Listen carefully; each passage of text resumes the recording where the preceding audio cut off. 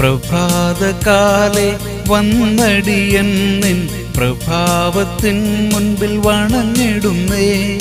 പ്രഭോ സമ്പൂർണമായി സമർപ്പിക്കുന്നേ നിൻ പ്രഭയാൽ എന്നെ നിറച്ചിടുകേ.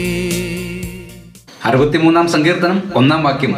ദൈവമേ നീ എന്റെ ദൈവം അധികാലത്തെ ഞാൻ നിന്നെ അന്വേഷിക്കും. അബ്ശാലോമിന്റെ മത്സരഫലമായി താൽക്കാലികമായി രാജസ്ഥാനം നഷ്ടപ്പെട്ട ദാവീദ് ഇപ്പോൾ മരുഭൂമിയിലാണ്. ശാരീരിക മാനസിക സ്ഥിതി വളരെ ക്ലേശമുള്ളതെങ്കിലും ഇവിടെ അദ്ദേഹത്തിന്റെ ആത്മിക സ്ഥിതി വളരെ ഉന്നതിയിലാണ്. ഈ ചിന്തയിലേക്ക് നമ്മെ നയിക്കുന്ന മൂന്ന് കാര്യങ്ങൾ ഇവിടെയുണ്ട്. ഒന്ന് പ്രപഞ്ചനാഥനായ ദൈവം തന്റെ സ്വന്തമാണ് എന്ന അവകാശവാദം. രണ്ട് ഓരോ പ്രഭാതത്തിലുമുള്ള ദൈവാന്വേഷണം. മൂന്ന് ദൈവത്തിനായുള്ള ദേഹത്തിന്റെയും ദേഹിയുടെയും അതിയായ വാഞ്ച. പ്രിയരെ മരുഭൂമിയുടെ ഉണങ്ങി വരേണ്ട അനുഭവങ്ങൾ നമ്മുടെ ജീവിതത്തിൽ കടന്നു വരുമ്പോഴും ദാവീദിന്റെ ഈ ആത്മിക ഭാവം കാത്തു സൂക്ഷിക്കാൻ നമുക്ക് കഴിഞ്ഞെങ്കിൽ. പ്രാർത്ഥിക്കാം. സ്നേഹപിതാവേ മരുഭൂമിയുടെ അനുഭവങ്ങൾ നിറഞ്ഞ ഈ ലോകത്തിൽ അങ്ങയെ നോക്കി ജീവിക്കുവാൻ അടിയങ്ങളെ സഹായിക്കണമേ. ഓരോ പ്രഭാതങ്ങളിലും അങ്ങിൽ നിന്ന് പ്രാപിക്കുവാൻ കൃപ നൽകണമേ. ക്രിസ്തുവേശുവിന്റെ പരിശുദ്ധ നാമത്തിൽ തന്നെ. ആമേൻ.